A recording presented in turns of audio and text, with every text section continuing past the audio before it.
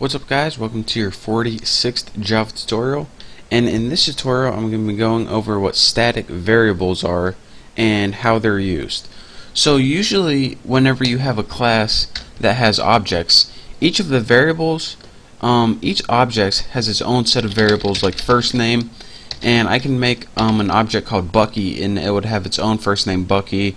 And I could have another object named Tommy and it would have its own first name of Tommy. But sometimes you want all the objects to share a single variable. For example, if you're going to make members of a club and you're going to like have the club count how many members were in it, for example, if I was in the club, it would be 1. If Tommy was in the club, it would be if me and Tommy were in the club, it would be 2. If me, Tommy, and Megan were in the club, it would be 3. And we each don't need to see that we each don't need an updated variable or a separate variable for 3 since the members in the club is all the same. So, for example, there's some variables that you just can share and you're saying, alright, why don't you just write a separate variable for each object and update it? Well, that takes a lot of time and space, so um, you'll see what static is by the end of this tutorial, and it's one of the most useful things that I actually taught you so far, so listen up. In this tutorial, we're going to be building a club, of course, and the club is going to be of hot girls that I would like to go out with. And yes, they will be famous. And no, I will never go out with them. So let's go ahead and make a couple uh, regular variables first. For each object, it gets its own private string. And let's go ahead and put like first for first name. And then go ahead and put private string and last for last name. And now we need to give them a variable that they can share. So go ahead and put private and put static and that static keyword means that every um, object shares the same variable. So when this one changes it changes the all objects.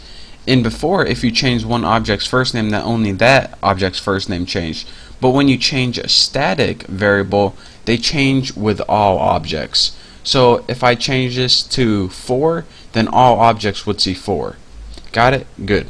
So static int and we'll have members of our club and we'll initialize the zero. So without building anything we have zero members in our club. So next let's go ahead and make our constructor. So public um, our class name is tuna and it's going to take two arguments string first name and string last name. This is how we're going to insert members into our club. And in our constructor just put first equals first name last equals last name. And let's just go ahead and put something like members plus plus. So each time we add a member it adds one to our members variable. So after we add our first member members will equal one. When we add our second member members will equal two. So next let's just go ahead and system out print format. And our format will be something like Again, you can be creative with this if you want. Um, constructor for, make sure you spell it wrong, percent %s, percent %s. So it'll be constructor for Bucky Roberts.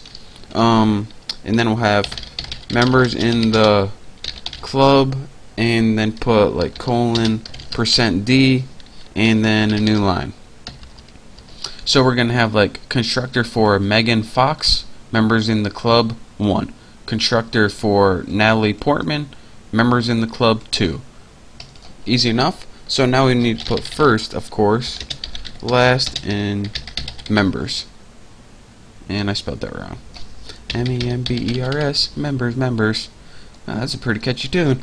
Alright, now let's go ahead and write some more methods that are going to come in handy. First, we need something to get their first name. So, public Actually, let me think about this. For this tutorial, I'm teaching you is constructors, right? So we probably don't even need these yet, but we sure do in the next tutorial. So let's go ahead and in this apples, and in our main function right here, let's go ahead and make some members. So let's go ahead and make member one tuna because it's in tuna class. Member one, and we'll set it equal to new tuna, and of course it takes the arguments again you can see what arguments it takes by this constructor over here a first name and a last name So the first name can be Megan, and the last name of girls I want to date club can be Fox. So now what we should have outputted on the screen is, well, might as well just do it. Constructor for Megan Fox members in the club 1. Easy enough. So let's go ahead and make another one now.